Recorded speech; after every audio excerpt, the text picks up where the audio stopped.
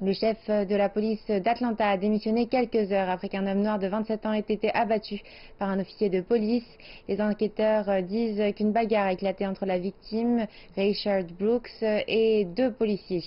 Des images vidéo le montrent en train de s'enfuir avec l'un de leurs fusils paralysants avant d'être abattu.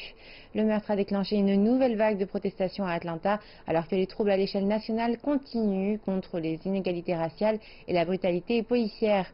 Le maire d'Atlanta a appelé au licenciement immédiat de l'officier qui a ouvert le feu sur l'homme.